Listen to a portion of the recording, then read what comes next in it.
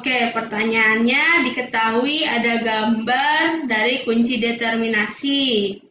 Yang ditanya, berdasarkan kunci determinasi tersebut, diketahui tumbuhan C dan D adalah A. Musa paradisiaca dan Manihot utilissima B. Gnetum gnemon dan Musa paradisiaca C. Areca catechu dan Gnetum gnemon D. Pisum sativum dan Sikas rumpi. E. Ginkgo biloba dan Pisum sativum. Nah, untuk menjawabnya kita dapat mengetahui data dari tumbuhan tersebut di kunci determinasi. Kita mulai dari, dulu dari tumbuhan C.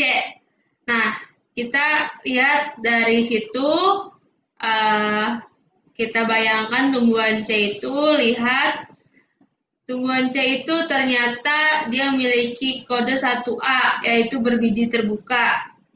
Nah, nanti 1A ini bakal diteruskan ke angka 2. Nah, di antara 2 ini, 2A atau 2B, ternyata dia itu termasuk 2B. 2B ini berumah 2. Dari poin 2 tersebut, kode 2 tersebut akan diarahkan menuju kode 4.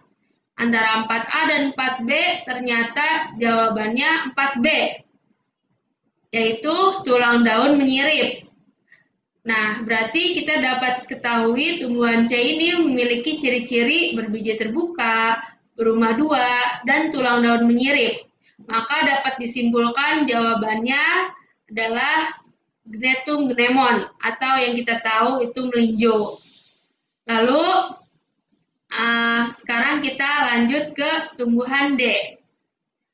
Dari 1A dan 1B, ternyata ciri-cirinya adalah 1B, yaitu berbiji tertutup.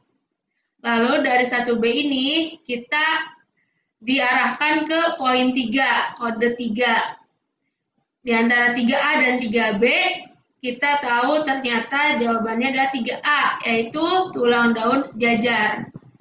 Nah, dari kode 3A ini kita diarahkan lagi menuju ke kode 5, yaitu kode 5A dan 5B. Ternyata jawabannya adalah 5A, batang lunak dan berair.